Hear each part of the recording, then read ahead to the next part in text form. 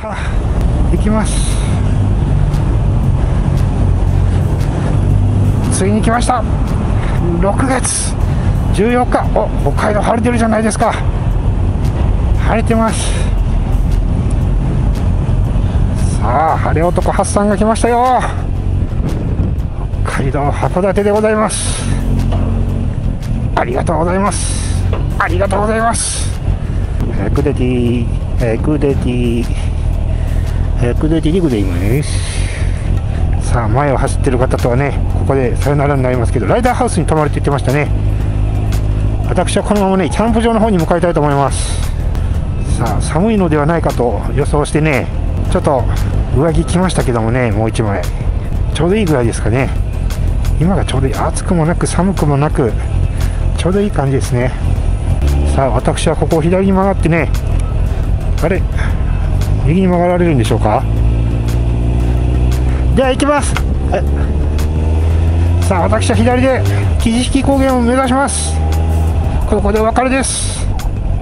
さあ函館でございます。何度目の函館でしょうか？私人生4度目の函館ですね。2019、2020、2021そして今年2022初めて北海道に来たのが2019年。あの時はね北海道行って大阪に戻りましたけどその翌年から始まりました。この私日本一周シリーズ3週目に突入しております。シーズン3でございます。ヘケケッシュでございます。ヘケ。さあ函館に来るたびにねコッシーさん思い出しますね。GSR750 来てくれたの思い出しますね。コッシーさんお元気でしょうか？さあまずはねそう1周目の時にコッシーさんと一緒に行ったあの長谷川ストアの方に向かいたいと思います。焼き鳥弁当を買ってね本日の晩ご飯長谷川ストアの焼き鳥弁当にしたいと思います。さあ長谷川ストア到着でございます。さあ焼き鳥弁当買いますよ。おいっと。到着。長谷川ストア七重浜店ですね。写真撮るか。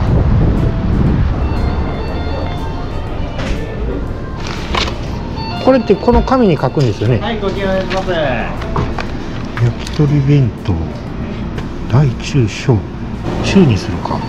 お味の方、左下の方に5種類あるのでおあ選びください。5種類あるんですか？あ5種類あるんですね。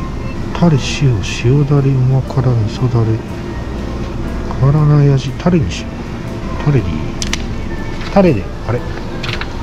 はい中中一つそしたらこちらで用意しますので、お待ちください。鳥弁当の箱弁当箱があるんですね。これは知らなかった。へえ。ここからね木地引高原キャンプ場23分ですね。近いですね。やりましたハッサン。長谷川ストアの焼き鳥弁当ゲットです。さあそれではね焼き鳥弁当もゲットしたんで木地引高原キャンプ場向かいたいと思います。一度ね去年行ってるキャンプ場なんでねちょっと安心ですね。確かあそこシャワーもあったはずなんでね。いややっぱりね北海道函館なんか道路がね広く感じますね。この歩道が広いですよね。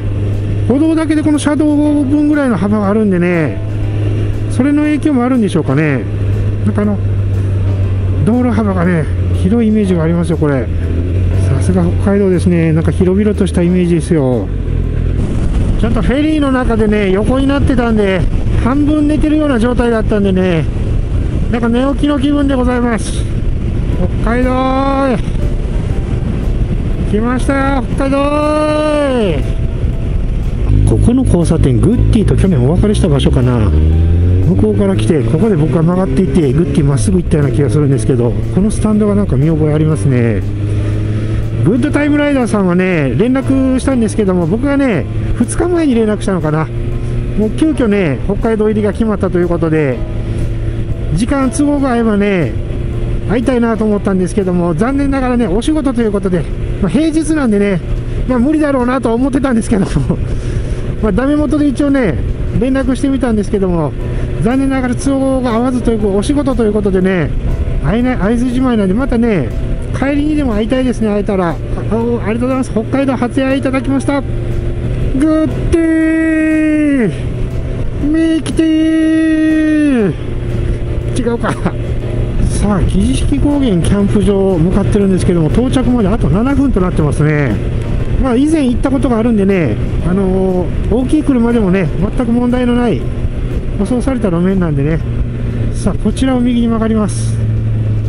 木地式高原って書いてますね。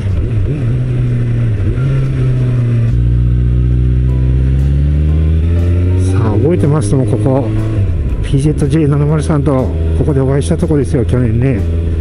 何度もね去年来ていただいたんですけども。ちょっと今年はねもう今夕方4時半ということでねキャンプ場あそこ6時かな？6時半かな？門が閉まっちゃうんですよね。受付もしないといけないし。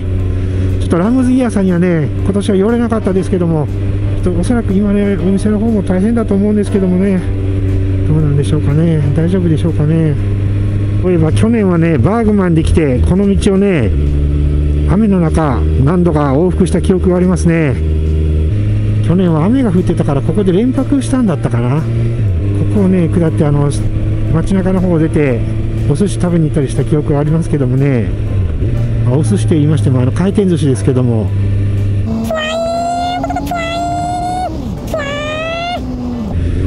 さあついにね北海道入りしたということでここからが恐怖ですよ。熊がもし出たらもう人生ジエンドですからね。あの月のワグマだったらなんとかなりそうですけどヒグマとなったらもうアウトですからね本当に。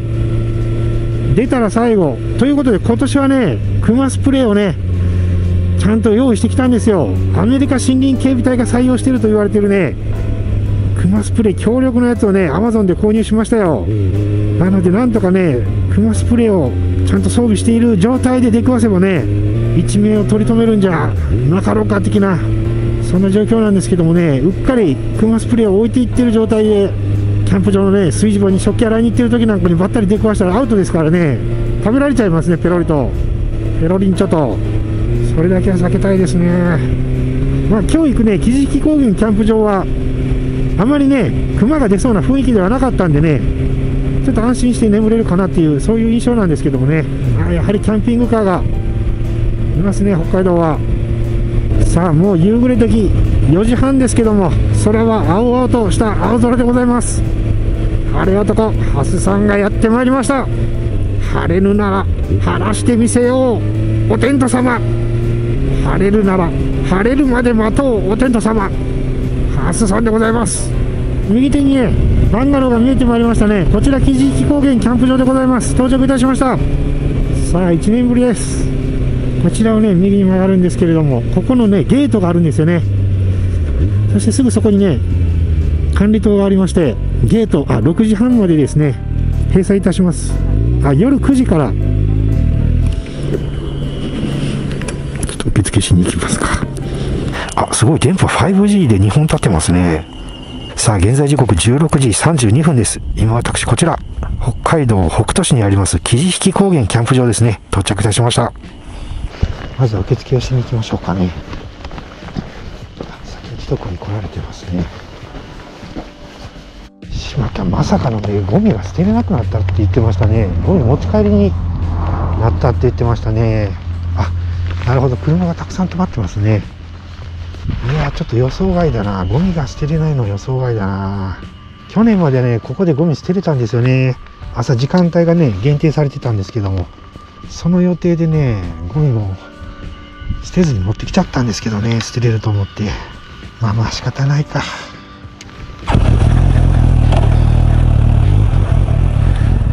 結構車来てますね。12345僕はね去年あの辺にあの車がね今止まってる辺りにテント張ったんですけどもこっち側はねバイクはこの外に止めないといけないんですよね。でそこがトイレなんでねここに貼るとなるとねトイレに皆さん行く通り道になっちゃうと思うんですよね。本当はこっち側に貼りたくなかったんですけどまあ仕方ないな。仕方ない。ここ通路になっちゃいますよねおそらくね。皆さんあそこにもトイレあるんですけどね。さあそれでは今日はねこの辺にテント張りたいと思います。電波はね3本楽天モバイル2本 au は3本立ってますね。電波状況はなかなかいいようですね。いや夕日に GSR が映えてますね。この辺りちょっと固めですかね若干。さあテントの設営は完了しました。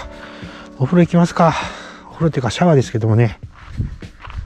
いやシャワーがあるのはありがたいですよ。キャンプ場にねシャワーがあるっていうだけでねもう僕の中でね評価がぐんと上がりますね。ついついリピートしちゃくなっちゃうんですよねこれね。こちらのシャワー確か100円だったはずなんですよね。ということはですよキャンプ料金が320円でシャワーが100円だったらもうシャワーだけでね考えたらもう実質無料ですからねこちらね。あすいません。シャワーお願いします。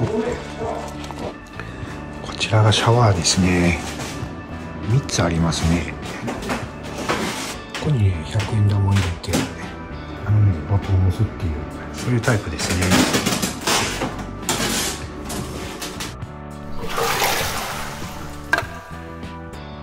ーさっぱりしました。いやーシャワーありがてえ。そしてここは自動販売機があるんですよね。ここのね炊事場の水道のお水はね一応検査は通ってるっていうふうにおっしゃってましたね。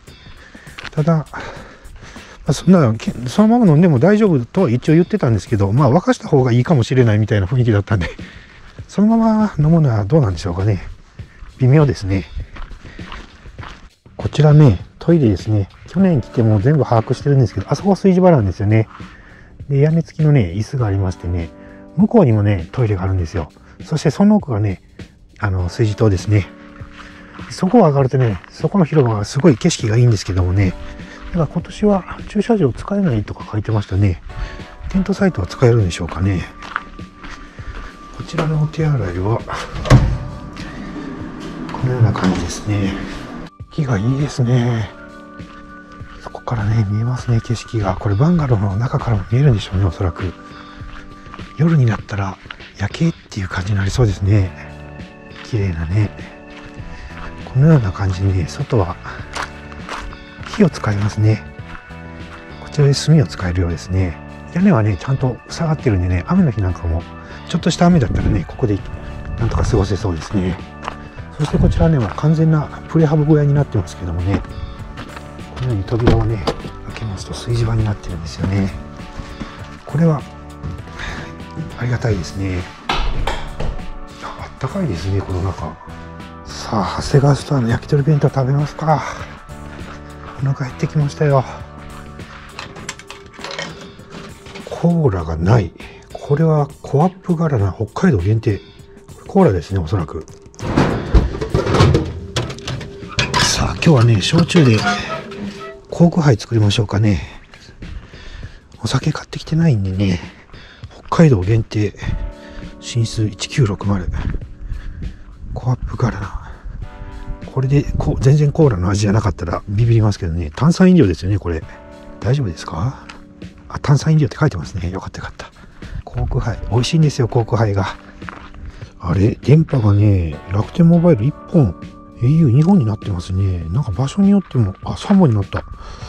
ちょっと場所によって違うのかな。先ほど県外になっちゃったんですけど何だったんだろう。再起動したら3本になりましたね au いけるのかな？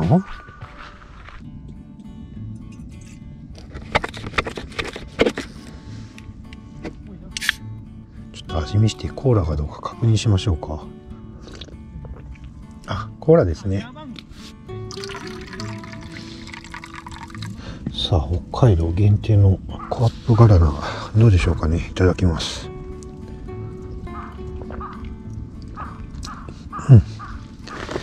美味しいですね。さあお弁当食べますか。あまだあったかいですね。長谷川ストアのね焼き鳥弁当元祖焼き鳥弁当いただきます。オープン。おう。確かねこれはね串を先に外しちゃうみたいなそういう食べ方が2だって言ってましたよね。さあ長谷川ストアの焼き鳥弁当でございます。のが2って言った。こうだったかな。あれ？違ったか。あれ？違ったか。こうだあこれでいいのかな。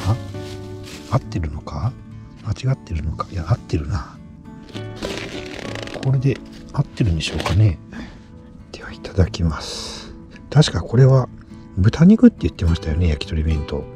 豚肉でもね、串に刺してるやつが焼き鳥っていうらしいんですよね、こちらでは。